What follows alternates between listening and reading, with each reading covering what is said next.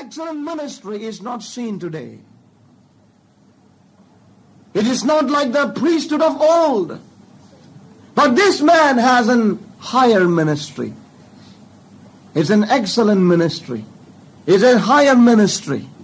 And we see about that ministry in Isaiah chapter 42. Now turn with me uh, to a few more scriptures.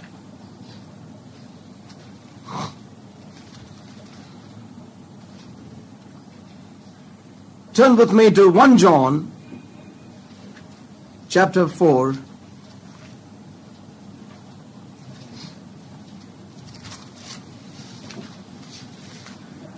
Thank you, Lord.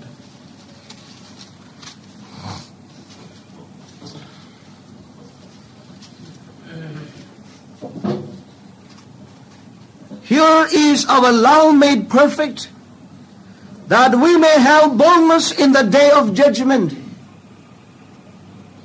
Because as He is, so are we in this world. Verse 17.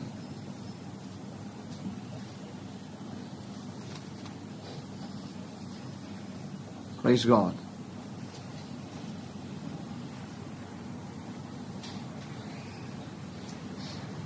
As He is, so are we in this world.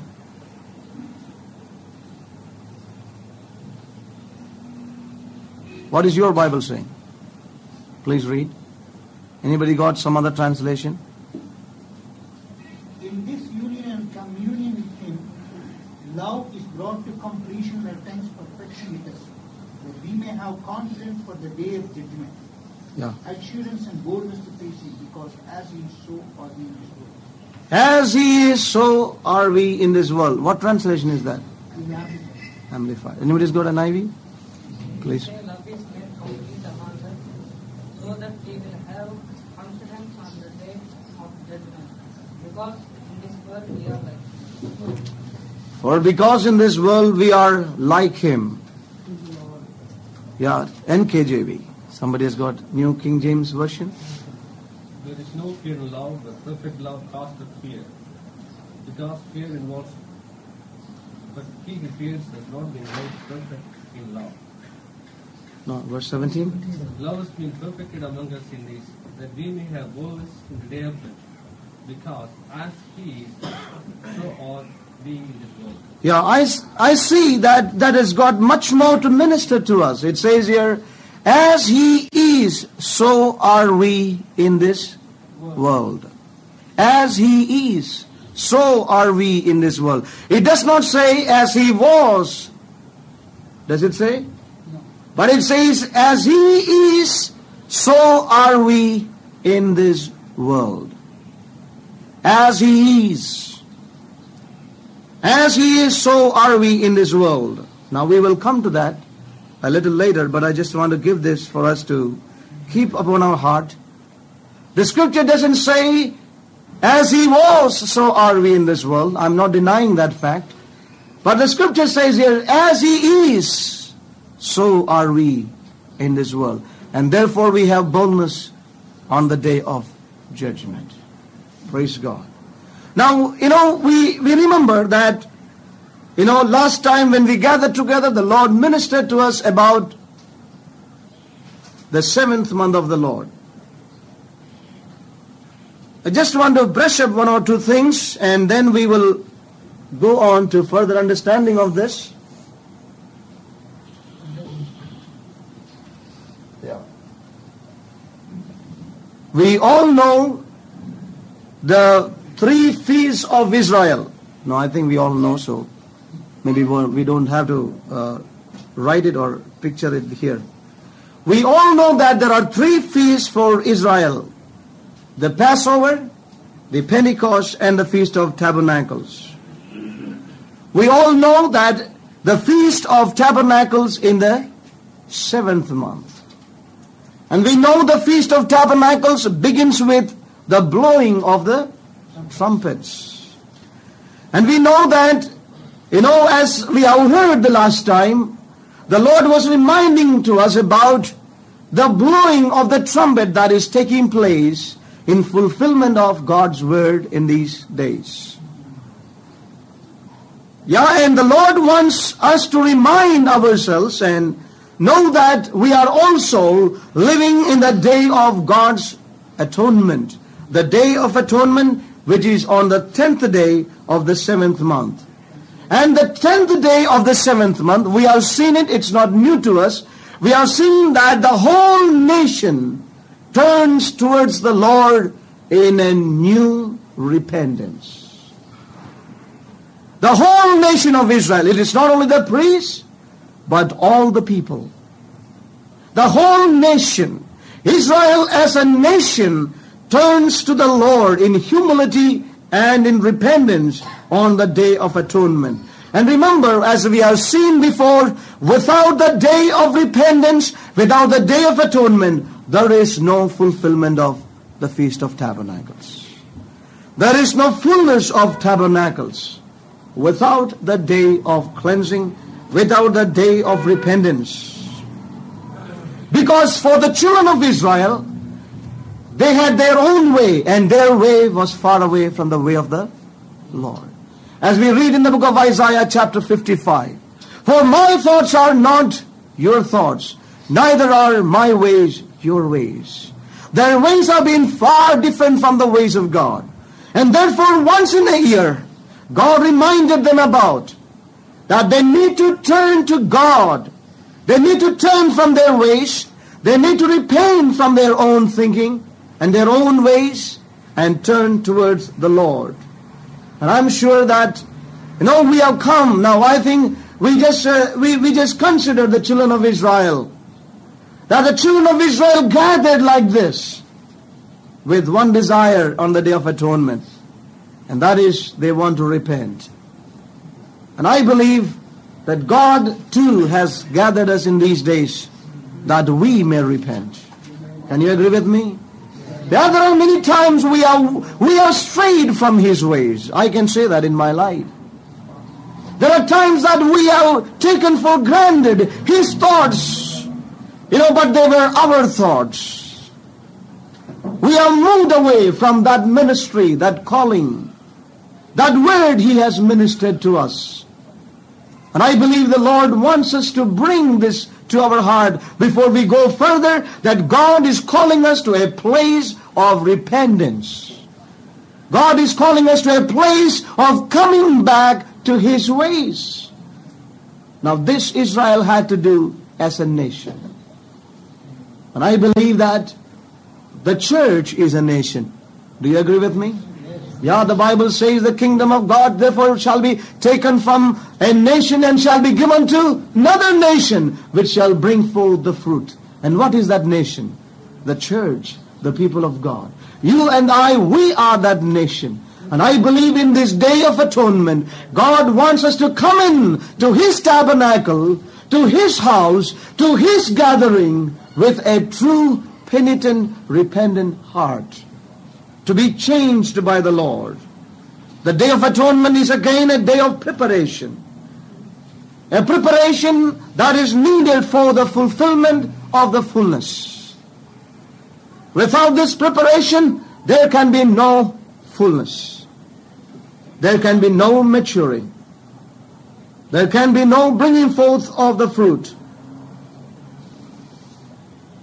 So what I am trying to say, or what the Lord is trying to say to us is that, you know, without, without really paying a price, without really giving out something, there is nothing that we are going to receive in these days.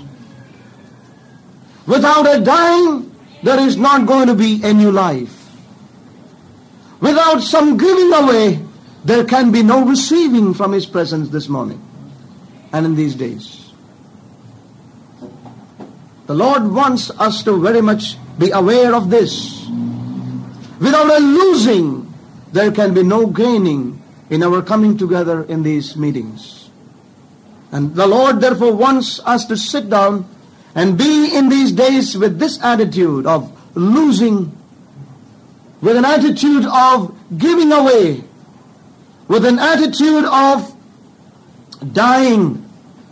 Yeah, we were all encouraged when the Lord said that He will do a new thing. And I'm sure that newness will only come forth out of a deadness that you and I would bring before God in these days. We are able to see that deadness, we are able to see that death, we are able to acknowledge before God that barrenness which we have seen and cry out to Him. And I believe that there is going to be a fruitfulness, a bringing forth, a change, a fruitfulness. Now I know that we we all feel yes we have been fruitful. We all may feel that we have been successful. But I want to say to you one thing, we have not been successful. We have not been fruitful as we see that we should be. And therefore I believe that the Lord is calling us to a place that we would bring this, this deadness, this barrenness of our life, bring to the Lord and say, Lord, that we have not been able to bring forth the way you have desired and looked for. And when we will turn to Him with such a heart, when we are willing to sell out and give away, that we may receive and we may buy. That, that we may come to the Lord with seriousness, even as He is serious with us. Many a time we are not serious with Him, but we know that He is always serious with us. He is always serious with us. And we need to be serious with Him. Now when we look around the church world today, there are, there are so many things going on, and there is no seriousness, there is no lordship of the Lord, neither the Lord is enthroned in all that they do. And so, beloved people of God, God is calling us to this place of the day of atonement, a day that we will turn to the Lord, a day that we will desire for His cleansing and purification and forgiveness. Praise God. As we read again the book of Hebrews, we see something there. We see something about this great and wonderful ministry of the Lord Jesus Christ. Somebody please read verse 1 and 2. Hebrews chapter 8. Now of the things which we have spoken, this is the sum. Yeah. We have such an high priest who Yeah. is set on the right hand of the throne of the majesty in the heavens, Yeah. a minister of the sanctuary and of the true tabernacle Yeah. which the Lord pitched, Hallelujah. Thank you, Lord. Thank you, Jesus. So we see that our Lord is seated in a throne.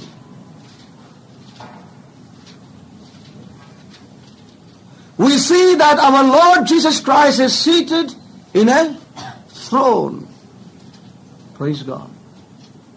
This is one thing the Lord wants us to see. He is seated in a throne, and what is he doing there? So we see the Lord Jesus Christ as one who is seated in a throne with a ministry. Yes? Huh? Praise God. We see Jesus. How do we see him? We see him as who is seated in the throne with a ministry. A man in the throne with a ministry. Praise God. For many people, Jesus Christ is dead, He is risen, and He is gone. It doesn't matter to them what He is today. But unless we know what He is, you cannot be what He is. As He is, so are we in this world. Praise God. So we see that the Lord Jesus Christ is there in the throne with a ministry. You know, when you take the tabernacle, it's very interesting as you begin to meditate and ponder over the tabernacle and the picture of the Lord Jesus Christ. When you take the tabernacle, when you take the tabernacle, we know the outer court, we know this is the holy place, and this is the most holy place. And we see that in the tabernacle there are these three realms.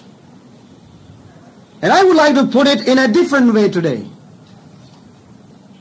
God lives in a three room house.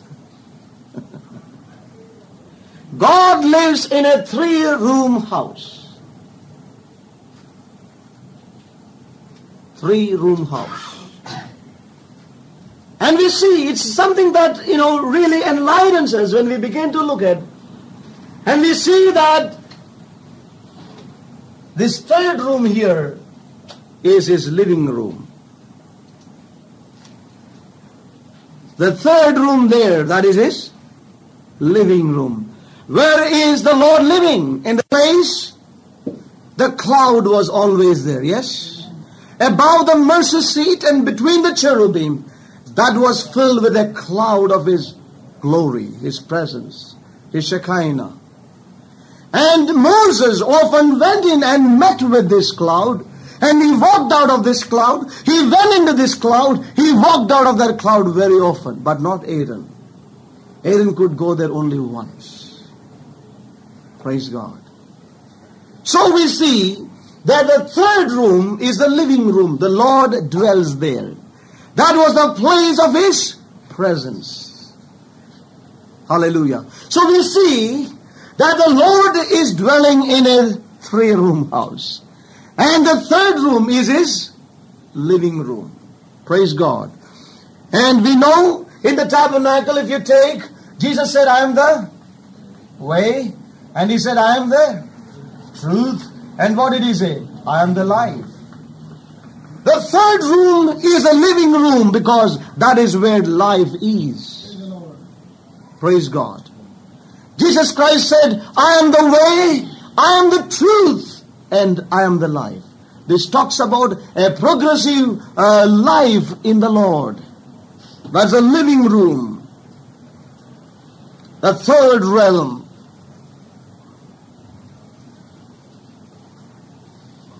Praise God. You know, when we read the epistles of Paul, there is another thing that we can see. Paul uses always three words. What are they? Hope, huh? faith, faith, hope, and charity. Faith, hope, faith, hope, love. In other words, the third room is the love room. That is a place of intimacy and relationship. Hallelujah.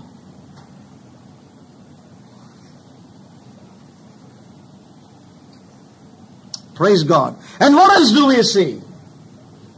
We see that in the third room or the living room, there is only one furniture. Yes? Praise God. In the living room of God, there is only one furniture. And what is that furniture? The Ark of the Covenant, what is that on the top of it? Mercy seat. That's the furniture there. The Ark of the Covenant with a mercy seat. Praise God.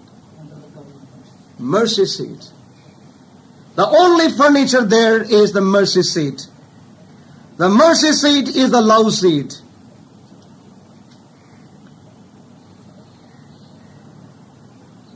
It is actually a judgment seat, but in His mercy and love, He has turned that seat into a mercy seat. And you know what we read in the book of Revelation?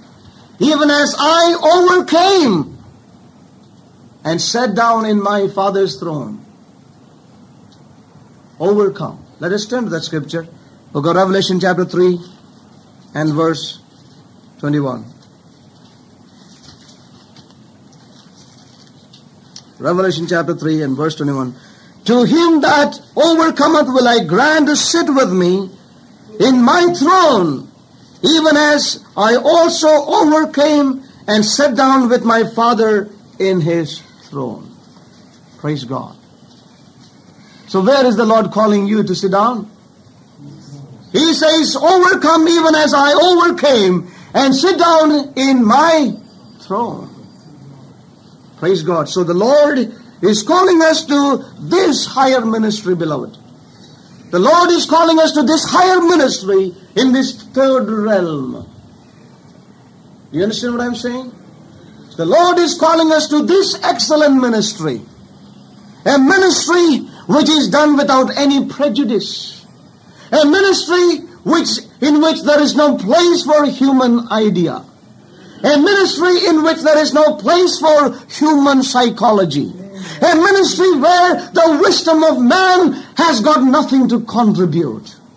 As we see the apostle Paul saying, we have not come to you in the wisdom of man, not in the might and the strength of man, but we have come unto you in the demonstration of the Spirit of God.